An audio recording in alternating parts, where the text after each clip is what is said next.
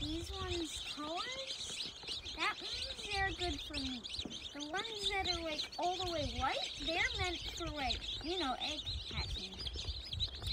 And these chicks, well, when they're like this tall or this tall, they're good to eat. Don't eat them this size, or else you're gonna only get like that much meat.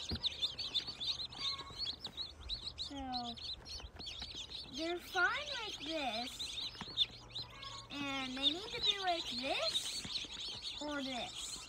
Those are the meat ones. The ones that are just plain white, like that, like like under like, oh, like no, just pretend this yellow stuff isn't there. Like if it's like all white, those ones are meant for eggs. So, yeah. I hope you have some good meat when you buy my chicks. This one's like the fluffiest one here. Yep. See you guys later.